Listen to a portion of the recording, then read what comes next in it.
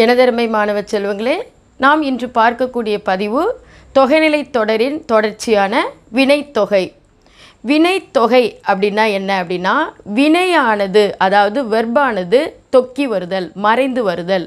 அது எப்படி மறைந்து வருது அப்படின்றது தான் இன்றைக்கி நம்ம வகுப்பில் பார்க்க போகிறோம். வாங்க.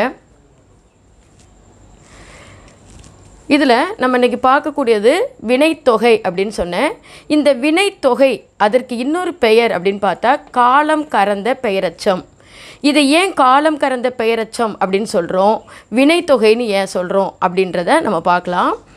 ஒரு வினைத்தொகை அப்படின்னாலே முதல்ல அதில் இருக்கக்கூடியது இரண்டு சொல் இருக்கும். ஒன்று வினைச்சொல் இருக்கும் இன்னொன்று பெயர் சொல் இருக்கும்.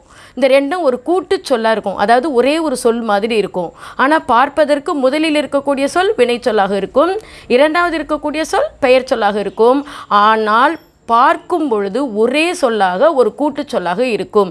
இதுதான் ஒரு வினைத்தொகையின் சொல் அமைப்பு. சரி இப்போ இந்த வினைத்தொகை இதை காலம் கறந்த பெயரச்சம் அப்படின்னு நான் ஏன் சொன்னேன் அப்படின்னா இதில் எதெல்லாம் மறைந்து வரும்? இந்த வினைத்தொகை வினை அதாவது வினை தொக்கி வருதுன்னு சொன்னேன் இல்லையா? இதில் எதெல்லாம் மறைந்து வருது அப்படின்னா ஒன்று பெயரச்ச விகுதி. பெயரச்ச விகுதி நமக்கு தெரியும். ஒன்று ஆ இன்னொன்று உம்.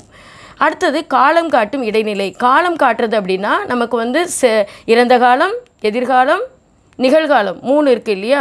அந்த இதுவும் மறைந்து வரும். இந்த ரெண்டும் மறைந்து வரும். எப்போ நம்ம ஞாபகம் வைத்துக்கொள்ள வேண்டிய விஷயங்களை முதல்ல பார்த்துக்கலாம். வினைத்தொகை அப்படின்னாலே நான் என்ன சொன்னேன்? ரெண்டு சொல் இருக்கும். ஒன்று வினைச்சொல் இன்னொன்று பெயர்ச்சொல் ஆனால் அது ஒரு கூட்டுச்சொல் மாதிரி தான் இருக்கும் அப்படின்னு சொன்னேன் இல்லையா?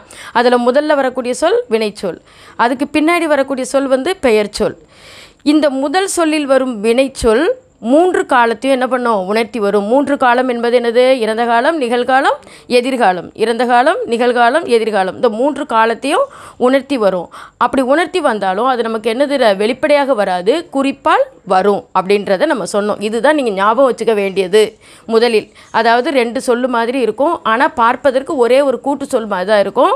முதலில் வந்து வினைச்சொல் இருக்கும். ரெண்டாவது வந்து என்னது இருக்கும்? பெயர் சொல் இருக்கும். இந்த வினைச்சொல் சொல்கிறோம் இல்லையா? இந்த வினைச்சொல் வந்து ஒரு கட்டளை பொருளில் வரும். அது எப்படின்றத நம்ம பார்க்கலாம். இப்போ வாங்க எடுத்துக்காட்டு வாங்க.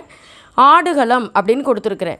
இதில் ஆடுகளம் அப்படின்றது ஒரு கூட்டுச் சொல்லாக தான் இருக்குது நான் சொன்னேன் இல்லையா அங்கே ஒரு கூட்டுச்சொல் மாதிரி இருக்கும் அப்படின்னு சொன்னேன் இல்லையா? இது ஒரு கூட்டுச்சொல். ஆனால் இதை பிரித்து பார்க்கும் பொழுது இங்கே ஒரு வினை இருக்குது இங்கே ஒரு பெயர் இருக்குது இல்லையா? இதில் முதலில் நிற்கக்கூடிய சொல் என்னது? ஆடு. பின்வரும் சொல் என்னது? களம். இல்லையா? அப்போ நான் என்ன சொன்னேன்? ஏற்கனவே ஒரு வினைத்தொகை என்றால் முதலில் இருக்கக்கூடியது வேர்ப் ரெண்டாவது வந்து நவுன் அதாவது முதலில் வினைச்சொல் இருக்கும் ரெண்டாவது நவுன் இருக்கும்னு சொன்னேன். இப்போ இந்த ஆடுகளம் அப்படின்ற ஒரு கூட்டுச்சொல் வந்து நம்ம அதை பிரித்து பார்க்கும்போது ஆடு என்ற வினைச்சொல் களம் என்ற பெயர்ச்சொல். இந்த ஆடு என்ற வினைச்சொல் வந்து ஒரு கட்டளை பொருளில் தான் வரும் எப்போவுமே. இப்போ உதாரணமாக ஆடினான் ஓடினான் பாடினான் வந்தான் சென்றான் இதெல்லாம் சொல்கிறோம் இல்லையா? அப்படி சொல்லும்போது நம்ம அதில் என்ன பண்ணுவோம்? வேர்ச்சொல் அப்படின்னு சொல்லுவோம் இல்லையா? வேர்ச்சொல்.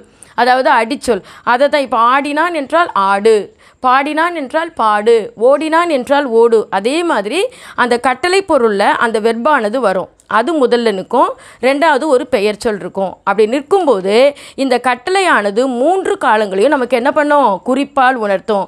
நிகழ்காலம் இறந்த காலம் எதிர்காலம் இப்படி மூன்று காலத்தையும் நமக்கு குறிப்பால் உணர்த்தும். உதாரணமாக ஆடு என்ற கட்டளை பொருள் ஆடிய ஆடுகின்ற ஆடும். ஆடிய என்றால் இறந்த காலம் நிகழ்காலம் எதிர்காலம். ஆடிய ஆடுகின்ற ஆடும் என மூன்று காலத்தையும் நமக்கு என்ன பண்ணுது? குறிப்பால் உணர்த்துது. இந்த மாதிரி வரக்கூடியது தான் நமக்கு வந்து என்னது? வினை தொகை. உதாரணமாக இன்னொன்று நான் காலம் கறந்த பெயரச்சம்னு சொன்னேன் இல்லையா? ஏன் காலம் கறந்த பெயரச்சம் அப்படின்னு சொல்கிறது உங்களுக்கு இப்போ புரியும்னு நினைக்கிறேன். அதாவது இந்த ஆடு என்ற கட்டளை பொருளானது கட்டளை வினை பெயரானது வினை சொல்லானது ஆடுகின்ற ஆடிய ஆடும் என்ற மூன்று காலத்தையும் கறந்து வந்திருக்கு. அதாவது இந்த பெயரச்ச விகுதி ஆ ஆடிய அங்கே ஆ விகுதி. ஆடுகின்ற ஆ விகுதி ஆடும் உம் விகுதி. அப்போ விகுதியும் மறைந்து வந்திருக்கு அங்கே பெயரச்ச விகுதியும் மறைந்து வந்திருக்கு. அதனோடு காலம் காட்டும் இடைநிலை காலம் காட்டும் இடைநிலை என்னது? இறந்த காலம் நிகழ்காலம் எதிர்காலம் என்ற காலங்காட்டும் இடைநிலையும் இங்கு மறைந்து வந்துள்ளது. அது மட்டுமன்றி பெயரச்ச விகுதியும் பெயரச்ச விகுதிக்கு வந்து நம்ம ஆ உம் இதுவும் அங்கே என்ன பண்ணியிருக்கு மறைந்து வந்திருக்கு. இப்படி மறைந்து வரக்கூடிய ஒரு கூட்டுச் சொல்லைத்தான் நம்ம என்ன சொல்லுவோம்? வினை தொகைன்னு சொல்லுவோம். இப்போ பாருங்கள் இதில் வந்து ஒரு இருபத்து ஐந்து சொற்கள் கொடுத்துருக்குறேன். இது அத்தனையுமே வினைத்தொகை தான் இந்த அத்தனையிலையுமே உங்களுக்கு நீங்கள் இதில் வினைச்சொல் எது பெயர் சொல் எது இந்த வினைச்சொல் எந்த கட்டளை பொருளை உணர்த்தி வருது இதில் எத்தனை காலங்கள் மறைந்து வருது அப்படின்றதெல்லாம் நீங்கள் பார்க்கலாம். உதாரணமாக எரி தழல். எரி தழல். இதில் வந்து வினைச்சொல் எது? எரி. இல்லையா? தழல் என்பது என்னது? பெயர் சொல். அப்போது இதை வந்து காலம் என்னெல்லாம் மறைந்து வந்திருக்கு? எரிகின்ற தழல் எரிந்த தழல் எரியும் தழல். இல்லையா? மூன்று காலத்தையும் நமக்கு அங்கே என்ன பண்ணியிருக்குது? மறைந்து நமக்கு வந்திருக்குது. அப்போ ஒரு சொல்லை எடுத்துக்கிட்டிங்கன்னா நமக்கு இதுதான் வந்து என்னது?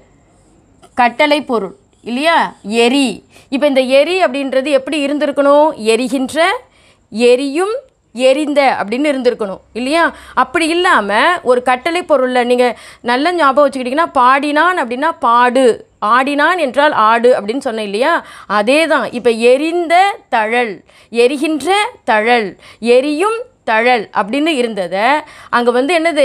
எரி தழல் இந்த வினைச்சொல்லானது கட்டளை பொருளில் நமக்கு என்ன பண்ணுது? நிற்குது அப்போ இது வந்து வினைச்சொல் வினையில் கட்டளையில் நிற்குது இது பெயர் சொல் அடுத்தது பாருங்கள் நிகழ்த்துக்கலை. இது நமக்கு கூட பாடம் வந்திருக்கு இல்லையா? ஆறாவது பாடமாக வந்திருக்கு. நிகழ்த்துக்கலை. இந்த நிகழ்த்து இதில் வந்து எது பெயர் சொல் எது பெயர்ச்சொல் இதுதான் பெயர்ச்சொல் இல்லையா? எது வந்து வினைச்சொல் நிகழ்த்து. அப்போ இதில் எந்த மூன்று காலமும் மறைந்து வந்திருக்கு இல்லையா? நிகழ்த்துகின்ற கலை நிகழ்த்திய கலை நிகழ்த்தும் கலை. அப்போ இது வந்து என்னது? வினை. இல்லையா? இது வினை. இந்த வினை எப்படி இருக்குது கட்டளை பொருளில் இருக்குது. அப்போ ஒரு வினைத்தொகை என்றாலே முதலில் நிற்கக்கூடிய வினை சொல்லானது கட்டளை பொருளில் நிற்கும். இரண்டாவது சொல் வந்து ஒரு பெயர் சொல்லில் இருக்கும். இது பார்த்தாலே நீங்கள் ஈஸியாக என்ன பண்ணிடலாம்? கண்டுபிடிச்சிடலாம். அடுத்தது பாய்ப்புலி இதுக்கு நீங்களே சொல்லுங்கள் பார்க்கலாம். இதில் பெயர் சொல் எது? புலி. கரெக்டாக அடுத்தது வந்து வினைச்சொல் எது? பாய். இல்லையா?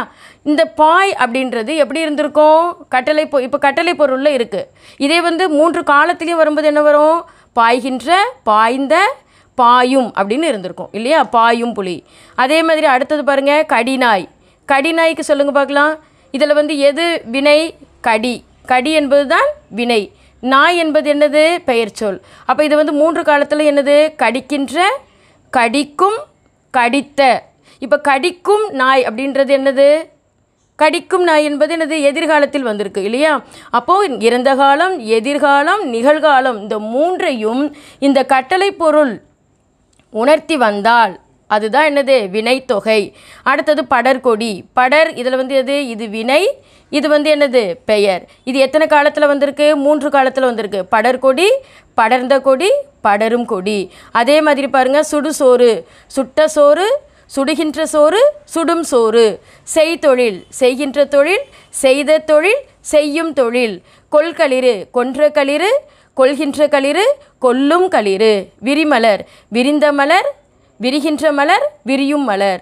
இந்த மாதிரி நீங்கள் என்ன பண்ணலாம்? ஒவ்வொன்றையும் நீங்கள் பயிற்சி செய்து கொண்டே வரலாம். இதில் எது? வினை. வினை அதாவது ஒரு கூட்டுச்சொல் ஒரே சொல்லு மாதிரி தான் இருக்கும். அந்த ஒரு சொல்லிலேயே நமக்கு வந்து என்னது?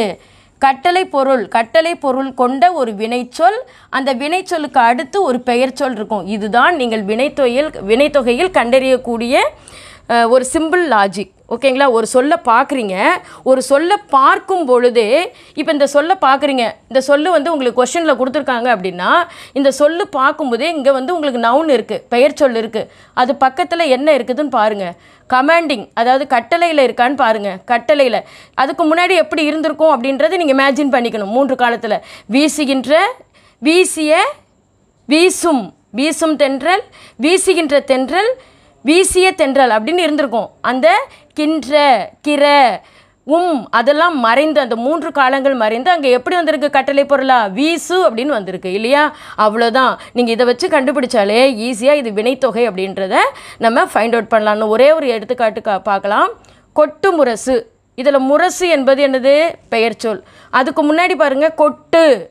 அதாவது எப்போவுமே நீங்கள் வந்து இந்த பெயர்ச்சலுக்கு முன்னாடி இருக்கக்கூடிய சொல் வந்து கட்டளை பொருளில் இருக்கும் ஆனால் பொருள் தரக்கூடியதாக இருக்கும். அதான் மெயின் நான் நீங்கள் பிரிக்கிறது எல்லாமே வந்து வினைத்தொகை அப்படின்னு சொல்ல முடியாது. மூன்று காலங்களிலும் அது மறைந்து வரணும். அப்படி மறைந்து வந்தாலும் அந்த கட்டளை பொருள் வரும்போது அங்கே என்ன பண்ணணும்? பொருள் தரணும். அதுதான் எனது வினைத்தொகை. இப்போ கொட்டு முரசுன்னா கொட்டிய முரசு கொட்டுகின்ற முரசு கொட்டும் முரசு அப்படின்னு வரணும். இல்லைங்களா? அப்போது இது பெயர்ச்சொல் இது வினைச்சொல் இந்த வினைச்சொல்லானது எப்படி இருக்கும்? கட்டளை பொருளில் இருக்கும். மீதி இருக்கக்கூடிய நீங்கள் அத்தனையுமே என்ன பண்ணுங்கள் ஒர்க் அவுட் பண்ணி காமிங்க. பாருங்கள் வீட்டில் தேய்பிறை ஓடுதளம் உருதுயர் வளர்வானம் பயில் தொழில் காய்மணி உய்முறை ஊறுபாடு விரிசோதி செய்முறை ஊறுகாய். இப்போ இத்தனையும் உங்களுக்கு பதினாறுல இருந்து இருபத்தி ஐந்து வரைக்கும் நீங்கள் என்ன பண்ணுங்கள் வீட்டில் பயிற்சி செய்து பாருங்கள் இது எப்படி பயிற்சி செய்யணும் அப்படின்னா ஒரு சொல்லை எடுத்துக்குங்க. அந்த சொல்லை எடுத்துட்டு அதில் வந்து இப்போ அந்த சொல்லை வந்து எ- மூன்று காலத்தையும் போட்டுக்குங்க. இறந்த காலம் எதிர்காலம் இந்த மாதிரி போட்டு வச்சுக்கோங்க.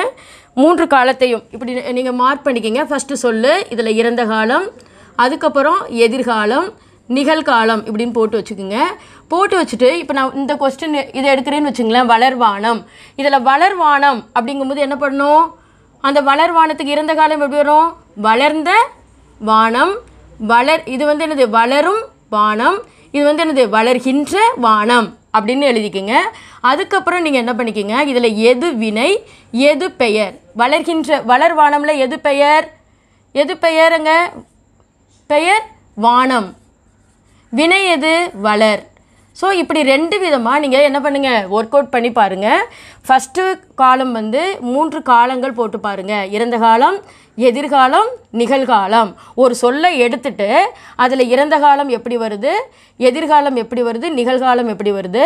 அதுக்கப்புறம் அதே சொல்லில் வந்து எது வினை எது பெயர். அந்த வினை வந்து கமாண்டிங் கட்டளையில் எது வருது அப்படின்றத பாருங்கள் இன்னும் ஒரே ஒரு எக்ஸாம்பிள் காய்மணி. காய்மணியை வந்து எப்படி போடுவீங்க? இதில் எது வினை? எது பெயர்? காய்மணியில் காய் மணி. இதில் எது வினை? காய் தான். இல்லையா? அடுத்தது வந்து என்னது? மணி. பெயர். இப்போ இந்த இதை வந்து மூன்று காலத்தில் எப்படி கொண்டு வருவீங்க? காய்கின்ற மணி காயும் மணி காய்ந்த மணி. இல்லையா? ஸோ இப்படி வரக்கூடியது தான் என்னது? வினை தொகை.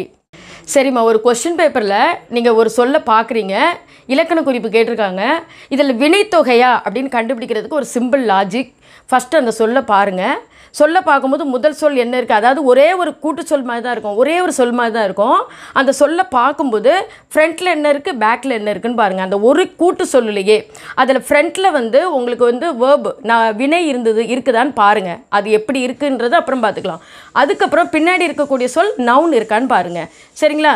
நவுன் இருந்த உடனே நீங்கள் கன்ஃபார்ம் பண்ணிக்கிங்க. ஓகே இது நவுன் இருக்குது அப்போ நீங்கள் அங்கே எதுவுமே நீங்கள் பொருட்படுத்த வேண்டாம். அடுத்தது ஃப்ரண்ட்டில் வாங்க. முதலில் இருக்கக்கூடிய சொல்லுக்கு வாங்க. முதலில் இருக்கக்கூடிய சொல் வந்து அங்கே வேர்பாக இருக்கா அப்படின்னு பாருங்கள் ஓகே இருக்குது அந்த வேர்பு வந்து கட்டளை பொருளில் இருக்கா அப்படின்னு பாருங்கள் ஓகேங்களா? அப்படி கட்டளை பொருளில் இருக்கும்போது அதை மூன்று காலங்களிலும் சொல்லி பாருங்கள் இறந்த காலம் எதிர்காலம் நிகழ்காலம் இந்த மூன்றுக்கும் உங்களுக்கு அது வந்து குறிப்பால் குறிப்பால் உணர்த்துதான் பாருங்கள் அந்த சொல் கூட்டு கூட்டு பெயர். அப்படி வந்தாலே உங்களுக்கு வந்து அது என்னது? வினை தொகை. அப்போ வினை தொகைனா நீங்கள் ஈஸியாக முதலில் இருக்கக்கூடிய சொல் ஒரு வினையாக இருக்கும். அந்த வினையானது கட்டளை பொருளில் இருக்கும் நம்பர் ஒன் ரெண்டாவது சொல் வந்து பெயர் சொல் இருக்கும். சரிங்களா?